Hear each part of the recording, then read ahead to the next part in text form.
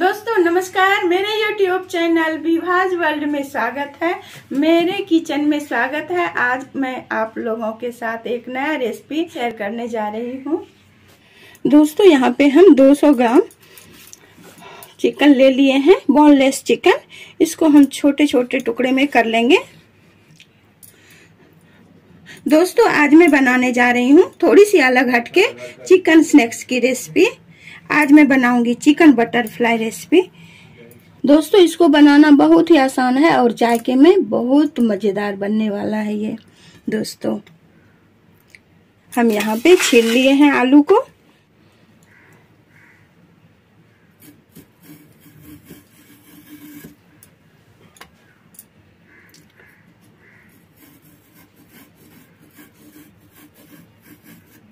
दोस्तों स्लाइस बनाते वक्त मुझे ये ध्यान रखना है कि ऐसे मुड़ जाए। ज़्यादा मोटे रहेंगे तो मुड़ेगा नहीं और पतले भी होगा तो टूट जाएगा। इसलिए मीडियम करना है मुझे।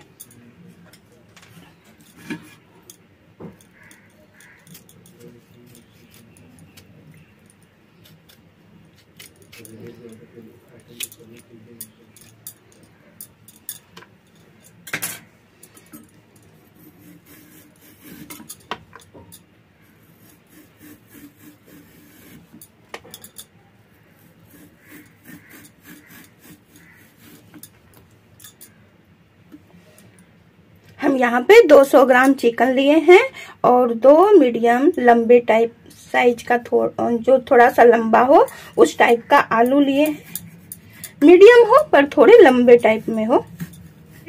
चिकन ले लिए।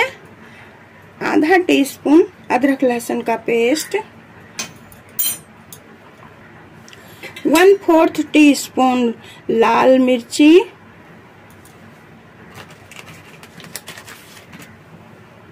ये लाल मिर्ची है, कुटी हुई। वन फोर्थ टी स्पून अमचूर पाउडर। अगर यदि आपके पास लेमन हो तो लेमन दे दीजिए। विनेगर हो तो विनेगर दे सकते हैं।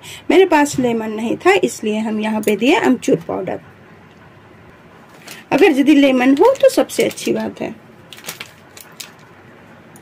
ये आधा हाफ़ टी स्पून कश्मीरी लाल मिर्च कलर के लिए। दोस्तों, अगर यदि आपको कलर पसंद हो तो आप फ़ूड कलर भी डाल सकते हैं। कलर अच्छा आएगा। हम फ़ूड कलर यहाँ पे नहीं दे रहे हैं। फ़ूड कलर हम स्किप कर रहे हैं। फ़ूड कलर ऑप्शनल है। आपकी मर्ज़ी है तो आप दे सकते हैं। ये हाफ़ टी स्पून है। जीरा और सौंफ का भुना हुआ पाउडर। एक चम्मच दही।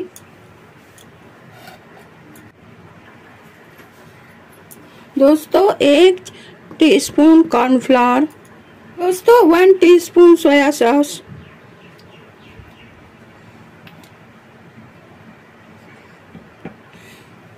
Half teaspoon हल्दी।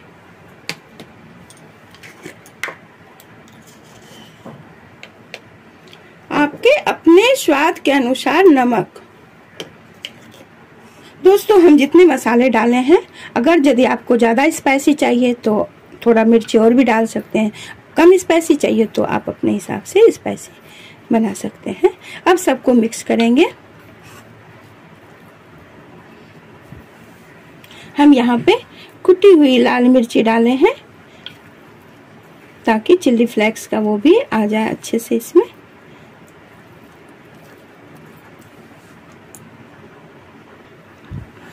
दोस्तों, अब यहाँ पे सभी मसाले हम मिक्स कर लेंगे। चिकन के साथ तो सारे मसाले मिक्स हो गए हैं। अब हम इसको फ्रिज में रख देंगे आधे घंटे के लिए, क्योंकि गर्मी बहुत है। बाहर नहीं रखेंगे, हम इसको फ्रिज में रख देंगे आधे घंटे के लिए।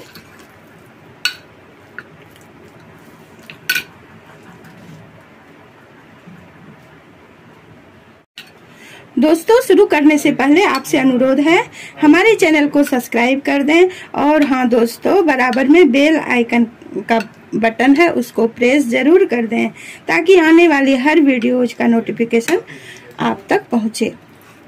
अब इसको हम फ्रिज में रख देंगे आधे घंटे के लिए।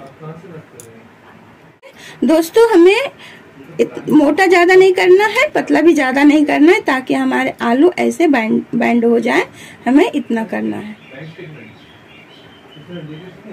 हमें इसके लिए चाहिए टूथपिक। एक बर्तन में हम यहाँ पे दो टे, टेबल स्पून कॉर्नफ्लावर ले लेंगे।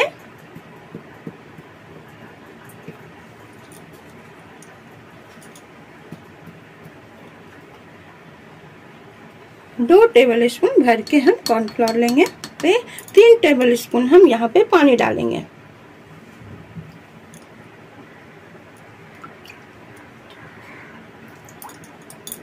अब इसको हम मिक्स कर देंगे। पिक ले लिए हैं और आलू भी ले लिए। अब लेके आते हैं हम फ्रिज से लेके आते हैं चिकन आधा घंटा हो गया है चिकन को फ्रिज में रखे हुए। हम चिकन को लेके आ गए। अब जो है दोस्तों, हम यहाँ पे ऐसे करेंगे? इसको यहाँ पे ऐसे डिप करेंगे। और एक पीस ऐसे उठा के हम इसके बीच में रखेंगे। और ऐसे टूथपिक लेके ऐसे चिकन को होल्ड करते हुए हम यहाँ से वहाँ तक जाएँगे। ये एक टूथपिक लेंगे।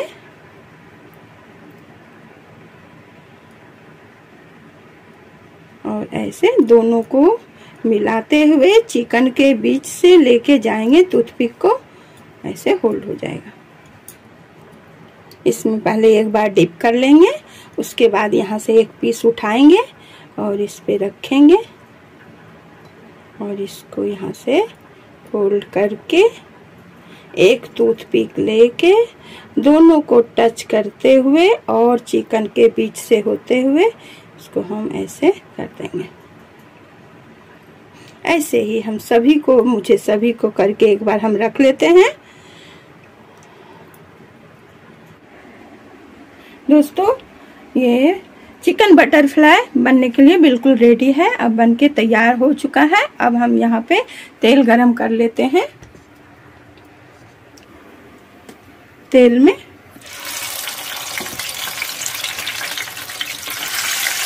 लो मीडियम गैस पे पकाना है मुझे। बारह से चौदह मिनट लगेगा पकने में।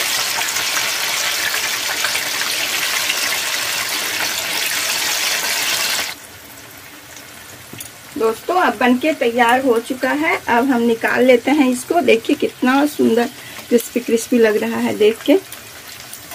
ऊपर से क्रिस्पी और चिकन अंदर से जूसी।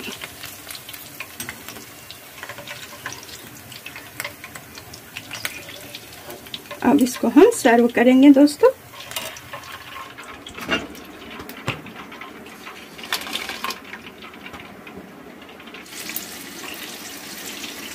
देखिए दोस्तों, कैसा लग रहा है? टेस्टी टेस्टी अभी एक यहाँ फ्राई हो रहा है और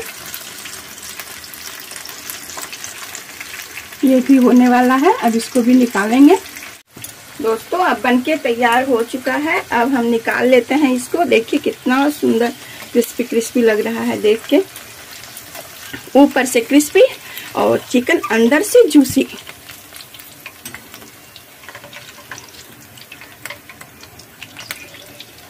अब इसको हम सर्व करेंगे दोस्तों। दोस्तों, देखने में जितना सुंदर लग रहा है, उससे ज़्यादा टेस्टी ये खाने में लगेगा। और झटपट बनने वाला रेसिपी है दोस्तों इसमें बहुत टाइम नहीं लगता है। कैसा लगा बेटा? स्वादिष्ट। तो कितना अच्छा सा ये पक चुका है।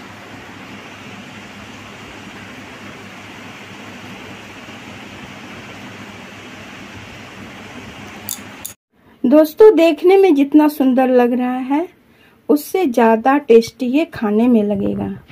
और झटपट बनने वाला रेसिपी है दोस्तों, इसमें बहुत टाइम नहीं लगता है। और दोस्तों टेस्ट करिए। आप भी टेस्ट करिए। और दोस्तों, जब आप ट्राई करेंगे तो आपका कैसा बना कमेंट में ज़रूर बताइएगा। इतना समय देने के लिए दोस्तों बहुत बहुत धन्यवाद। थैंक यू एक नई रेसिपी के साथ जल्द मिलेंगे। तब तक के लिए बाय बाय अपना ध्यान रखिए, अपने फैमिली का ध्यान रखिए।